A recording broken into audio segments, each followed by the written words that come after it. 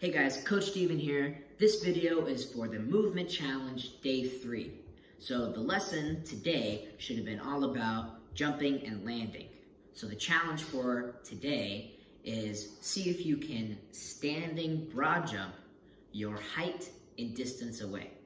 So you can grab a tape measure, you can grab just a piece of tape, or whatever you need to measure your distance in height.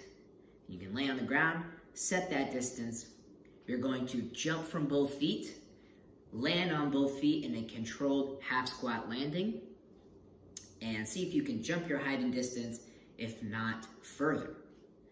And regardless of whether you complete the challenge successfully or not, we want to know. So if you would like, go ahead and post your results on the Ridgecrest Moves Facebook page. Even better, if you want to take a video, or if your parents want to take a video and post that on the Ridgecrest Moves Facebook page, we would love that as well. So,